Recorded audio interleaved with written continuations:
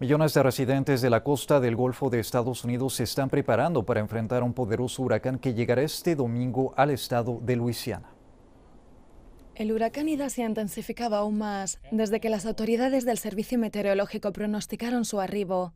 Ahora es de categoría 4 de la escala Saffir-Simpson de 5 niveles. Las autoridades han advertido de la fuerza de Ida, con vientos huracanados y fuertes inundaciones en la zona norte de la costa. El huracán golpea al Estado en momentos cuando se encuentra luchando para contener casos de coronavirus. La semana pasada se registró la tercera incidencia más alta de casos de COVID-19 por cada 100.000 personas en el país. El sur de Luisiana todavía sigue enfrentando los estragos dejados por el huracán Laura del año pasado. El gobernador ha advertido que podría ser el huracán más devastador que ha golpeado el estado directamente en 170 años. Ida impactó justamente en el aniversario 16 del mortal huracán Katrina, que destruyó la ciudad de Nueva Orleans, en el mismo estado, dejando una estela de miles de muertos.